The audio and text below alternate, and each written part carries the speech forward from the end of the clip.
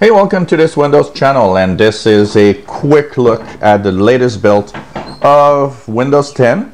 So today, June 22nd, we've got a new build of Windows 10, 14371 as you see on the watermark on the bottom right of my screen or your screen.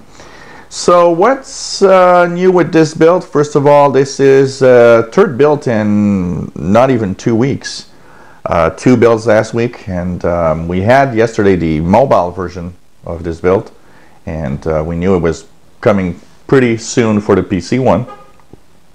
So 14371 available for fast ring insiders uh, only, and basically uh, you head on to the Windows Update and check out for the um, build 14371 that will show up in your fast ring updates so um, install went well. Everything went well. It's the same little song that I sing all the time.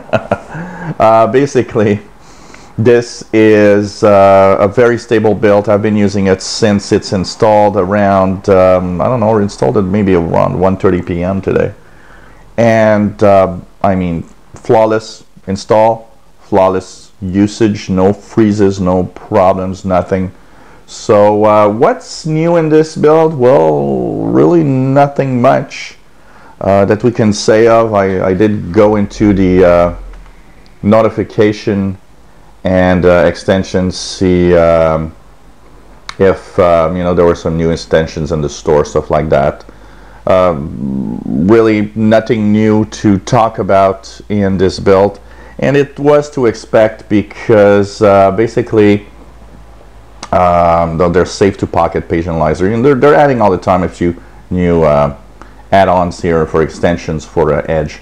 But apart from, that you know we can't expect really nothing new here because um, we're getting close to the anniversary update so features are few. One of the things that's noteworthy uh, and that is quite interesting it is um, activation. Starting with this build there's an activation change.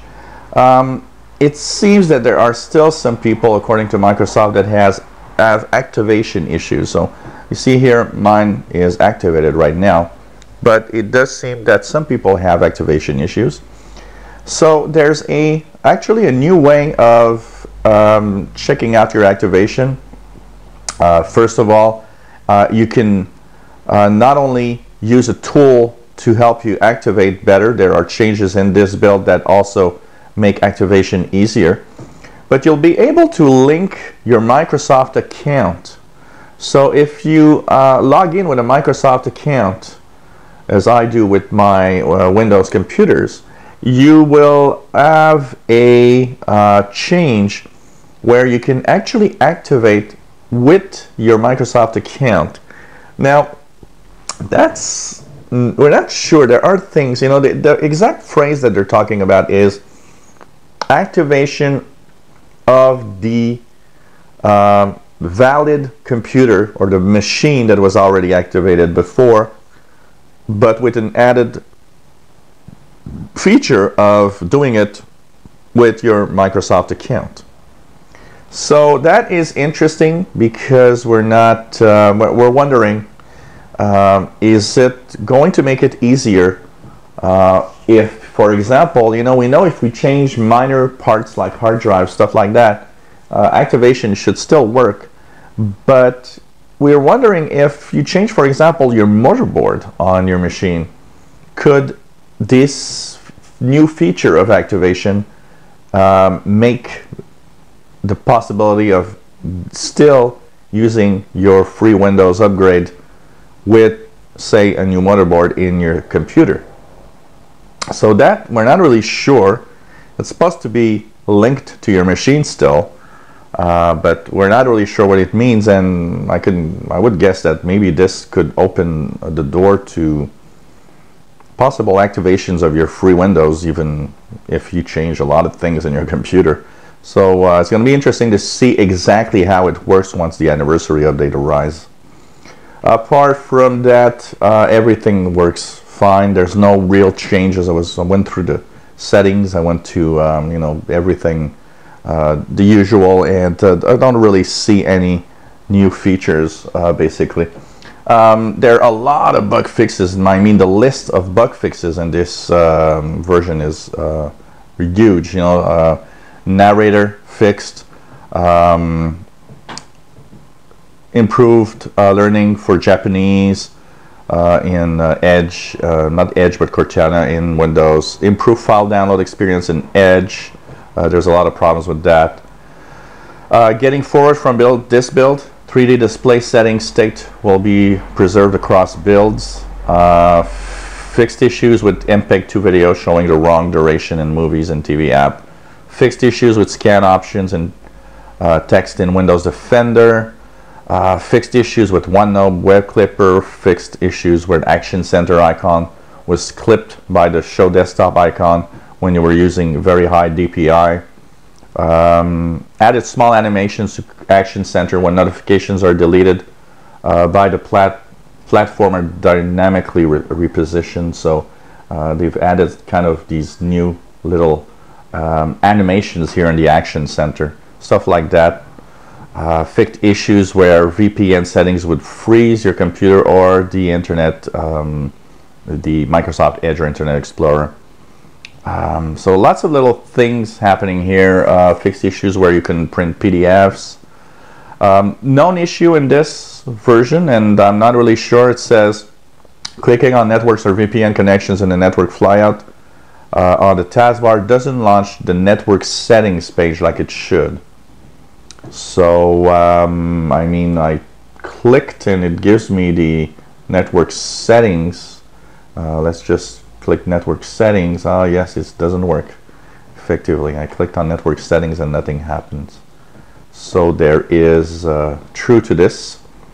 So there is this little issue here, but uh, you can still probably go to network settings from all settings and uh, network and internet is uh, that's where you'll get everything.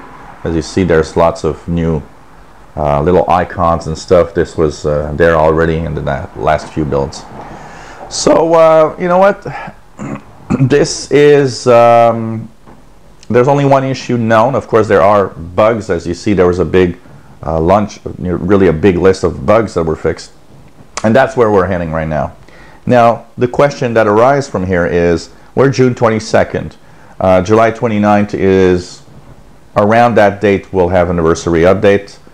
Uh, July 12th is the official code lock that means we're a few builds away from the official thing.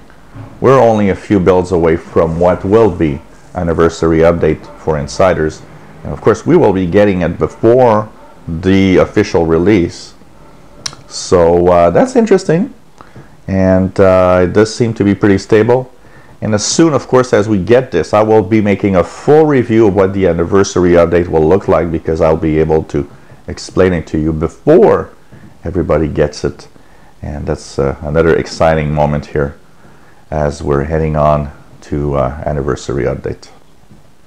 So uh, if you're a fast ring insider head on to the insider preview uh, I've seen a few uh, people out there telling me that uh, you haven't seen any new insider builds which is kind of interesting I've had you know as soon as this build was released uh, this afternoon. I checked on my machine maybe about an hour after it was released and it was there. So, um, and, and usually the first release are always in the United States or North America. So um, it's kind of weird to see that some people don't have this appearing. Uh, so make sure you know that if you're an insider, because there were some insider previews updates that would break the fast ring. So make sure that in update and recovery that uh, you go down to Windows Insider program and make sure that you are on fast in the insider level uh, and that you are of course logged into your Microsoft account. Um, that's for sure.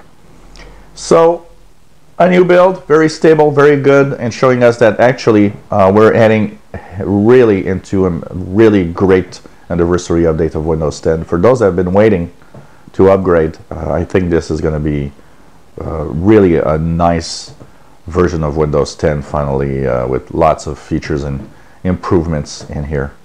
So uh, hope that you uh, will like this. If you enjoy my videos, please subscribe to my channel. You'll be informed when new videos online. Give us thumbs up if you like the videos. And uh, hopefully you enjoy our videos and welcome back to our channel. Thank you for watching. Hope you enjoyed this review of uh, and my personal observations of the Windows 10 Pro Insider Preview build 14371 released today uh, for Fast Ring Insiders.